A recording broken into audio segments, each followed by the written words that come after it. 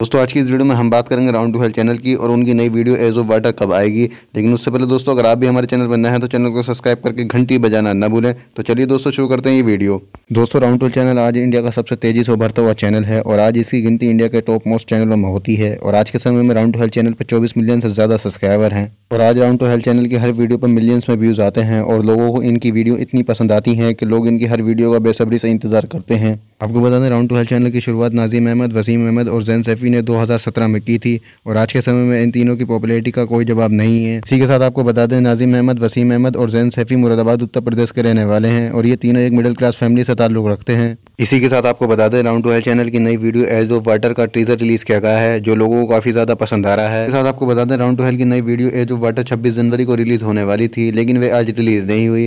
मैं आपको बता दूँ राउंड टू हेल्थ की नई वीडियो एज ऑफ़ वाटर पर अभी एडिटिंग का काम चल रहा है। इस बात की जानकारी खुद नाजिम एवन ने अपने इंस्टाग्राम अकाउंट से दी है। हालाँकि नाजिम अहमद और जैन सफ़ी ने यह भी बताया कि वीडियो कल तक आ जाएगी। तो दोस्तों, हो सकता है कि राउंड टेल की नई वीडियो आज शाम नौ बजे तक आ जाए। तो दोस्तों, आपको ये वीडियो कैसी लगी अपनी राय में कमेंट करके बताएँ। वीडियो अच्छी लगी तो वीडियो को लाइक करें शेयर करें और हमारा चैनल सब्सक्राइब करना ना भूलें।